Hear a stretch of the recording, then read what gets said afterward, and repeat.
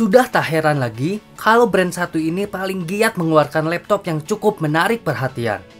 Selain tampilannya yang premium, pilihan spesifikasi yang ditawarkan juga menggait semua pasar. Kali ini Gayafone kedatangan laptop dari Asus, seri VivoBook A442U versi prosesor Intel i7. Bisa dibilang, laptop ini versi bongsornya dari ZenBook UX 4110, laptopnya para content creator. Kenapa bongsor? Ya, karena bodinya yang cukup tebal. Sebelum mulai review, kita cek dulu apa saja yang bakal kalian dapatkan jika membeli laptop ini. Ya, di sini terlihat box coklat dengan tulisan VivoBook. Cukup besar ya. Kita tengok ke belakang. Ada beberapa ikon sertifikasi, keamanan, dan lain-lain. Di sini juga ada keterangan spesifikasi singkat dari laptop. Saya tampilkan di layar.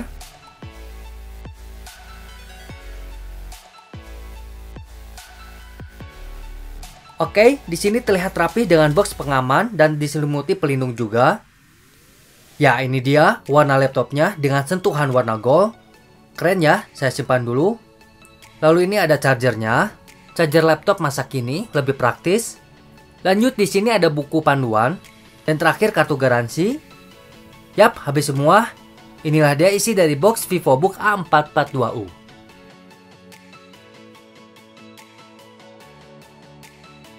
Desain yang premium dengan sentuhan warna gold, di belakang layar ini diberikan tekstur khusus, hingga sidik jari atau minyak gak nempel atau membekas pada casing ini. Cukup brilian, mata awam ini mengira berbahan logam, namun setelah dipegang terasa dari bahan plastik. Selanjutnya tengok bagian sisi, terlihat tebal bodinya dibanding Ultrabook. Bagian kiri terdapat lubang charger, LAN port, VGA port, HDMI, lubang USB, USB Type-C, dan kunci. Sisi bagian depan ada 4 LED notifikasi, dan di bawahnya ada lubang speaker. Lanjut ke sisi lainnya, memanfaatkan ketebalan bodi disematkan DVD room, lalu ada lubang USB, lubang jack audio, dan lubang SD card. Dan bagian sisi belakang hanya terdapat lubang pengeluaran suhu panas dari laptop.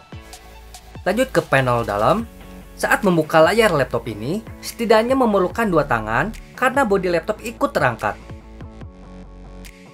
Layar laptop yang terbentang seluas 14 in dengan resolusi Full HD, warna lebih tajam, dan action matte pada material displaynya memberikan kenyamanan menatap lebih lama dan tidak silau meski sekitar ruangan banyak cahaya.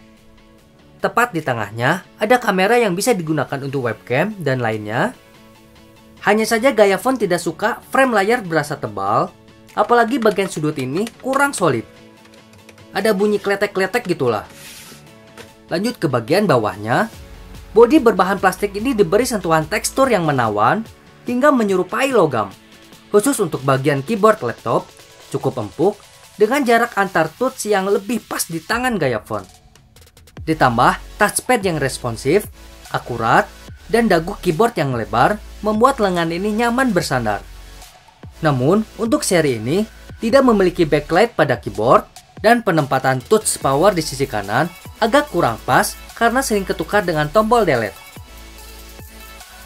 Pada akhir bulan November kemarin, Asus sudah resmi bekerja sama dengan Microsoft. Nah, laptop terbarunya ini sudah dibekali Windows 10 resmi loh, original. Gaya font sarankan, kalian wajib pakai Windows 10 resmi. Kenapa? Ada beberapa keunggulan yang cukup bagus dibanding yang bajakan. Selain mendapatkan Windows Update yang terpercaya, laptop kalian akan terlindungi dari segala serangan seperti virus, malware, dan lain-lain. Selain itu juga, ada beberapa update fitur dari Windows 10 ini saya tampilkan di samping layar.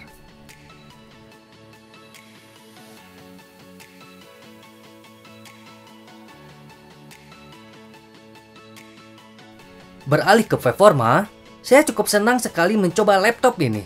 Sebagai konten kreator video, laptop ini bisa mengolah, menjalankan aplikasi Adobe Premiere, khususnya CS6, dengan lancar. Perpaduan antara prosesor Intel i7 7500U, kartu grafis Nvidia 940MX, dan RAM 8GB ini bekerja dengan sangat optimal. Belum menemukan lag saat editing video, namun karena tidak disematkan SSD pada laptop ini, pada awal buka aplikasi agak terasa lama.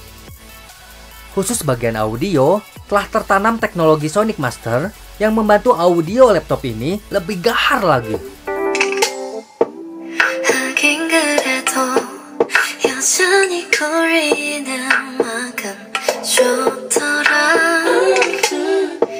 Segala aktivitas gaya phone menggunakan laptop ini, daya tahan baterainya cukup baik. Proses charging ulang pun terbilang cepat. Oke, so far gaya phone suka sekali dengan desain laptop ini.